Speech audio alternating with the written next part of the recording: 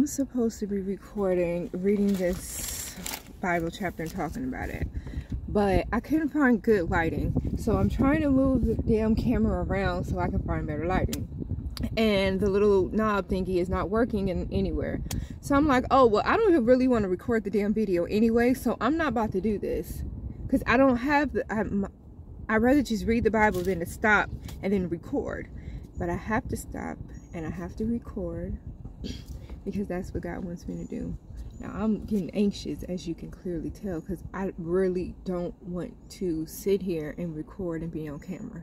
I feel like it's unauthentic. If it was authentic, then I would just be reading this Bible and getting the knowledge. But because I have to share it with you guys, I have to actually take time out to record taking the time out to record means I have to make sure my makeup is on point. Make sure my wig is not lifting because then I'm gonna get talked about. I have to make sure my lip gloss. I have to make sure everything is perfect. I have to make sure I'm sitting straight. I have to make sure I have a good angle. I have to make sure I have a good light. I have to be fucking self-conscious. And I don't want to be self-conscious. I just want to read the goddamn story. yes, this is a rant rant, vent. This is a fucking vent. A vent rant. A venting rant. A vent. I am a little bit high and I wish I was a lot of bit high, but my anxiety is kicking in. but while I was kicking in, guy was like, I need you to record that. And I'm like, what? You want me to record me having a fake little anxiety attack about recording when everybody's just to talk about me because that's all people are to do anyway. No one's to say, oh, sis, I understand.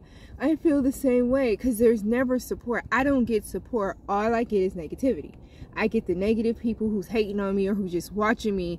The ones who I inspire, but don't never say, oh my gosh, you inspired me. Thank you so much. I saw that video. It helped me. Like, I'm just here talking to myself in the car, rambling, and nobody's going to say, hey girl, trust me, I've been there. You got this. Keep going, sis.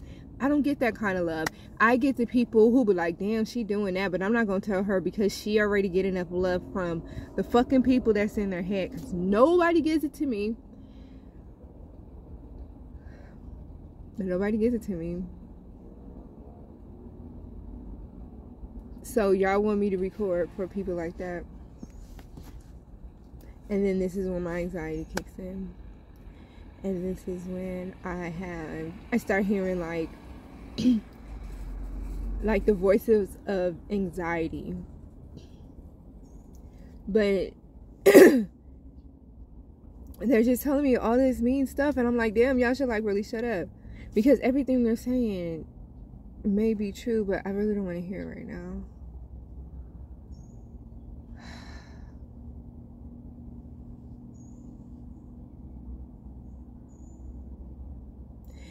and then I'm able to calm myself down because I was clearly having a little panic attack on camera. So embarrassing, but whatever.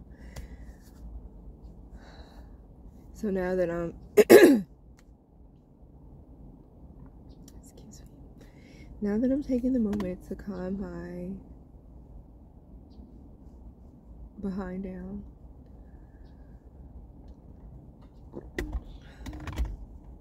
I'm able to get the voices of anxiety away.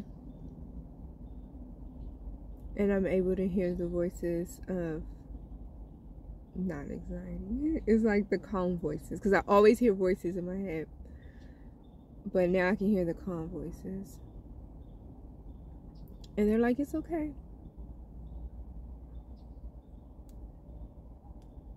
You know what I mean? Like it happens.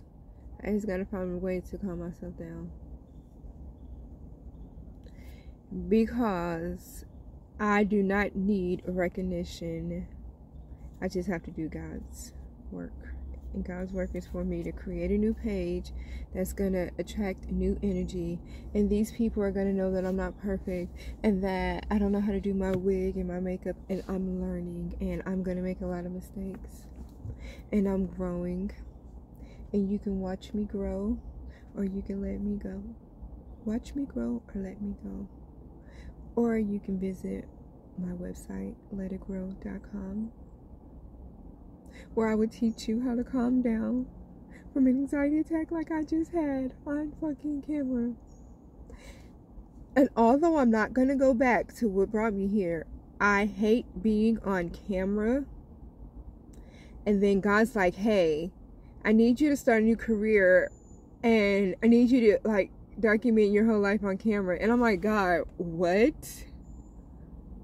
Why would you do that to me? Like, that didn't even sound fair. Like, I wanted to be an author. I wanted to be like, like, I keep changing my name for a reason. Like, come on now, God.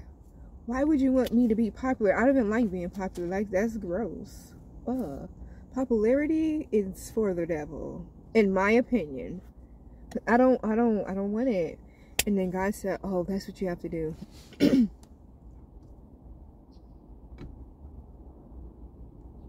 and like, who argues with God? Like, that's not even smart. So it's like, I don't like it. And he know I don't like it. But I'm just going to do what he say. Because if I don't, then I'm going to die. And I'm going to have to come back here. And I can guarantee you one thing. I will never come back to Earth. This, y'all think it's funny when y'all say Earth is ghetto. This is this is trash. Like, oh, this is the hood. Like, seriously. Seriously. Seriously.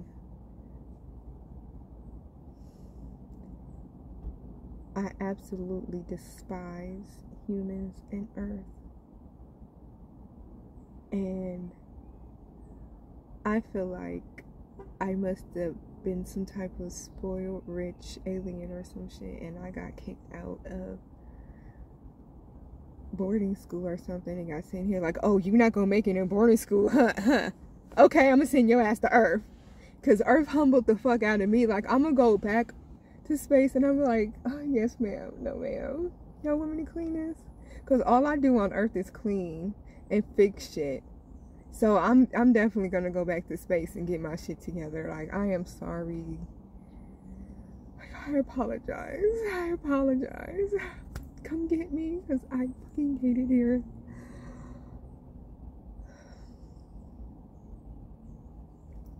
I might be rambling because I'm a little high, but if you're watching this, you're high or you like high people, so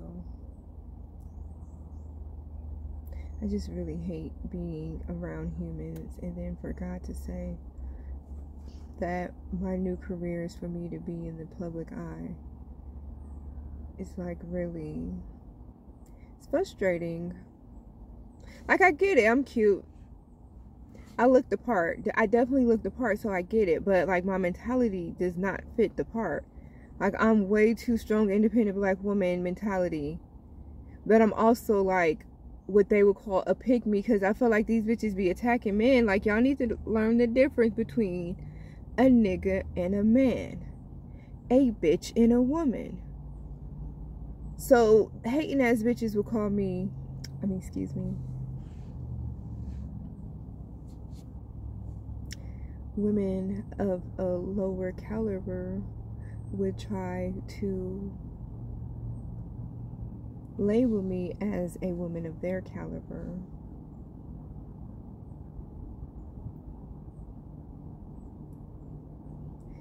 And sometimes I'm, I allow it. So I, I wouldn't fit in. Like, I don't know who I would fit in with. Because I like, I would hang out with the older people. But then the older women think I want their man. And I don't want their man. And the men think I want them. And I don't want them. And everybody think that I'm doing it on purpose. And I don't know what I'm doing because I don't want anybody. I don't have any social skills. I am on the spectrum, literally on the spectrum. I'm just smart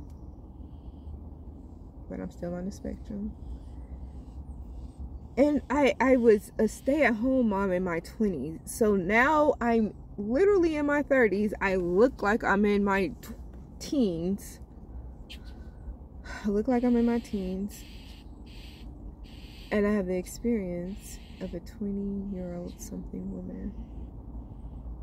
And I have the knowledge of a fucking 50 year old woman. Where am I supposed to go? Who am I supposed to hang with? Who's gonna protect me in the industry? What happens if I blow up? Like all these thoughts, like everybody knows the Illuminati is real. I don't know what they look like. I don't understand. I'm not going to no party because I don't know who party is safe. I definitely would have went to that all white party. Now I know I could never go to that all white party because I'm thinking like, oh my gosh, everybody's gonna be there. I can just sell my personality and everybody's gonna love me and I'm gonna walk away with a lot of business cards. And no, I'm walking away with a lot of fucking business cards, but it ain't the business that I'm thinking I'm signing up for. But I'm thinking I'm signing up for this. And they thinking I know I'm signing up for that when I don't know. I'm thinking I'm signing up for this because I'm on the spectrum and I don't have social skills.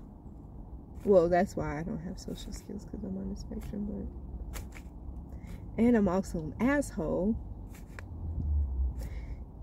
because I'm on the spectrum and I don't understand. And I'm blunt, I'm brutally honest. Like I have so many positive flaws that I just wouldn't fit into the world. I'm not accepted because I'm going to call you out. I'm not going to kiss your ass. Why would I? That's nasty, figuratively, physically. I don't know, Ely, whatever. I'm not the one you need to ask. Don't ask me no fucking questions because I'm going to tell you the truth. So now I'm the target. And I have to record myself and talk like that. And then I'm going to like not edit this and I'm just going to just put it out there because if I watch this later then I'm pretty sure I'll just be like, oh my gosh, here's another anxiety attack.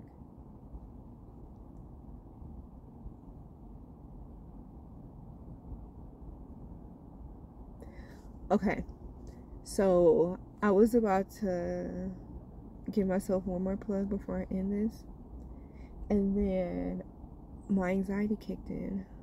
It said something else negative. I am training to be a psychologist. My first step will be, well, my first major step would be to be a licensed therapist. Therapists still need therapists. Most therapists are therapists because we taught ourselves how to get through a situation or our trauma taught us how to get through. We're therapists because we're strong enough to handle other people's trauma and help them get through it. We're not perfect and we're still damaged. There is not a person on God's green earth who hasn't endured some type of trauma. So please be more respectful to those of us who are going through the process of being therapists. And even if someone grew up with a closer to perfect childhood and young adulthood, they might have need to go to therapy to unpack the issues that they hear from their clients. Sometimes when I'm speaking to my therapist, she takes her glasses off and she readjusts herself, and you can tell she wants to cry. I have some deep fucking pain, and I have to tell that lady about it. And she specializes in CPTSD, which is severe post traumatic stress disorder. So that lady might have to go to therapy after talking to me sometimes. She might have to clear her schedule. I might be the last appointment or the only appointment of the day. She might have three or four clients just as severe as me, which I know she has one. So just between the two of us, that lady might be wanting to drink Hennessy every night. So she has to talk to her therapist to remind her to not hold on to our issues. Be nicer to the therapist. Stop talking shit about therapists. We're not perfect. Nobody is perfect. And y'all better leave what's her name? Brie Bria alone. I absolutely love her and Brie literally while she was going through all that shit and y'all was talking about her, that girl pulled me out of some goddamn deep dark holes. Fighting y'all taught me to fight. So respect to all the therapists out there who's fighting and who has issues. You can go on my website, letusgrowinto.com, and I will show you how to get out of your own freaking head. Yeah.